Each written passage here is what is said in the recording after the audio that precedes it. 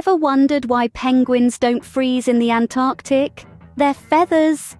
Yes, a thick layer of feathers traps warm air, keeping these charming birds toasty even in minus temperatures. Fascinating, right?